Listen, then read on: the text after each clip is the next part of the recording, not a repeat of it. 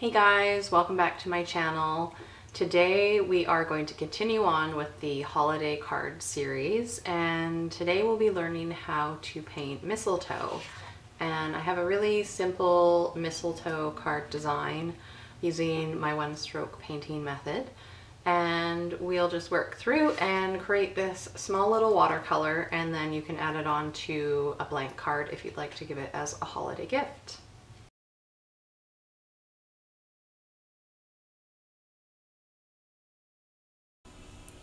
I'm starting out with 140 pound cold pressed watercolor paper.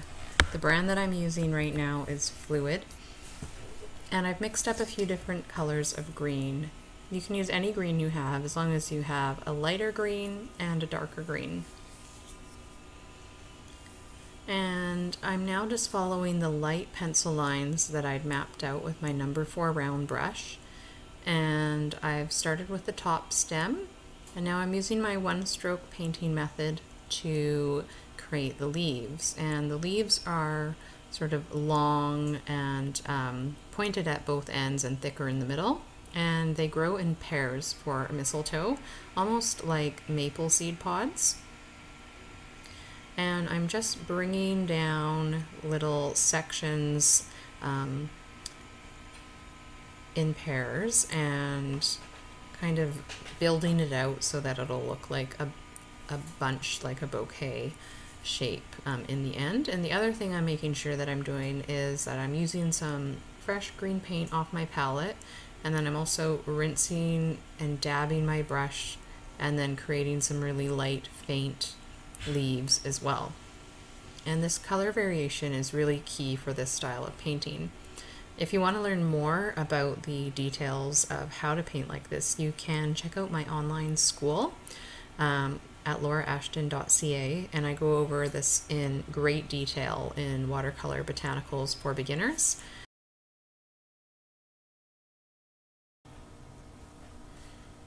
So I'm continuing along creating this bouquet shape with the mistletoe leaves in pairs making sure that I'm using the lighter green, the darker green, and also rinsing my brush with um, clear water and dabbing it on a paper towel to get that lighter concentration of color. And when I say rinsing to continue painting with the lighter color, I really just mean you just dip your brush in the clean water, dab it lightly on the paper towel, and then you'll get that light faded out color. And the contrast of the lighter faded out color and darker color really brings this style of painting to life.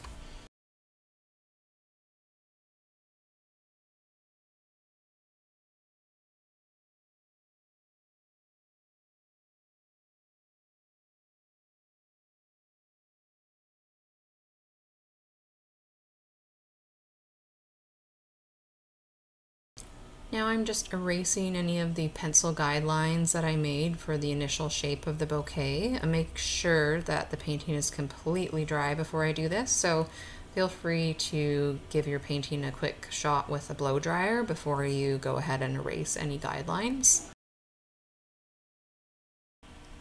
Now I decided I wanted to paint a red bow along the top of the mistletoe bouquet, so I took a little chisel brush with clean water and just kind of agitated out a little bit of the green stem so that I can place the bow in that area.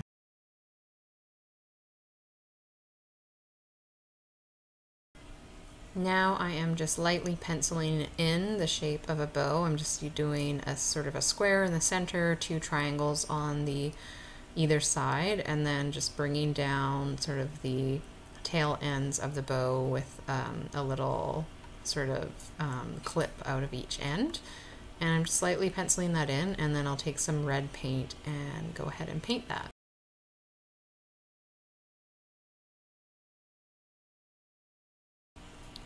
I'm starting with the center of the bow and I've just mixed up a red with alizarin crimson and scarlet lake and I just painted the center in and now I'm drawing that because I want to paint on each side of it and I don't want them all to run together.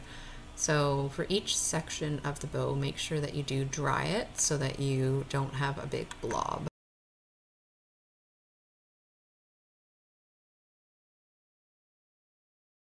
Now I've added some clean water to the triangle parts of the bow on each side and then I'm going to drop in the red paint So this is a wet on wet wash.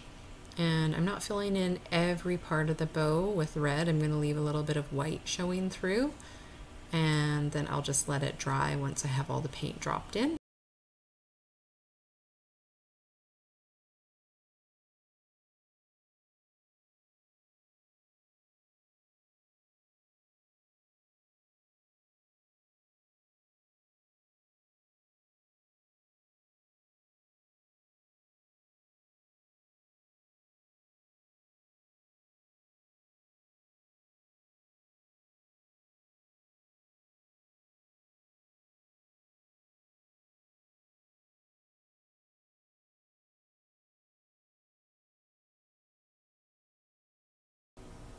Now I am starting on the berries and I've mixed up a light gray using ultramarine and light red, Winsor and Newton brand. That's sort of my go-to botanical gray mix.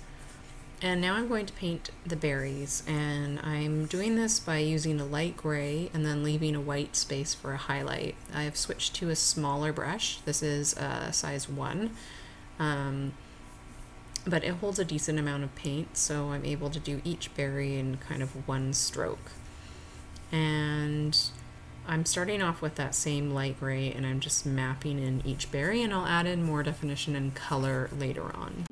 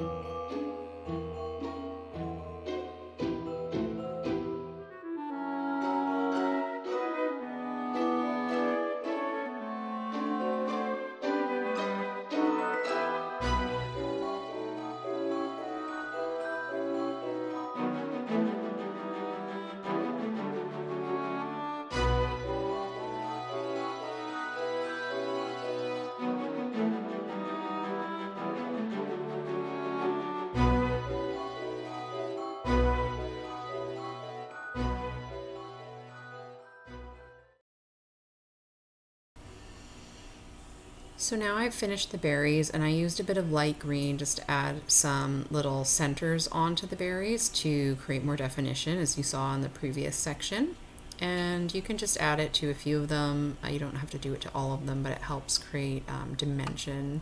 And that's where the sepal on the berry would have dried out before the berry formed.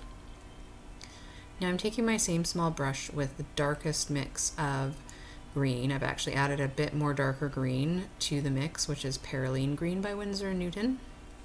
And I'm creating some definition by just darkening one side and then rinsing my brush with clean water and sort of softening out the inner edge so that it blends in. And this is creating a darker defined edge that will imply shadow and it just gives your painting a little bit more of a finished realistic look.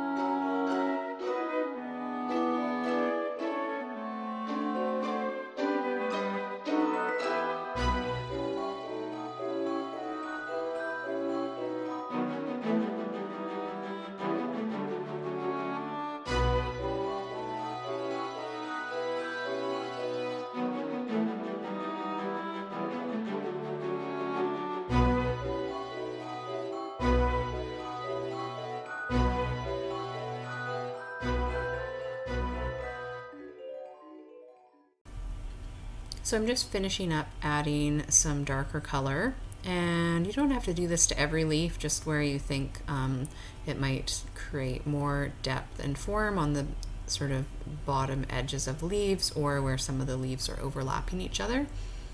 And I also did take some light gray and just darken the bottom portions of a few of the berries as well.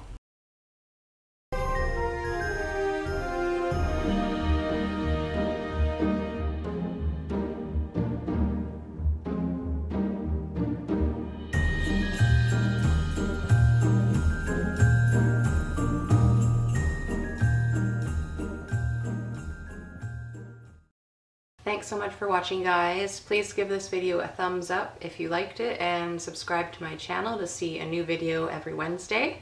And if you'd like a notification when my videos go live, you can click the little bell icon next to subscribe. If you want to learn more about botanical watercolor painting, then do check out my online school. You can preview my class Watercolor Botanicals for Beginners for free and check out materials, color mixing, techniques, and even one of the full projects for free.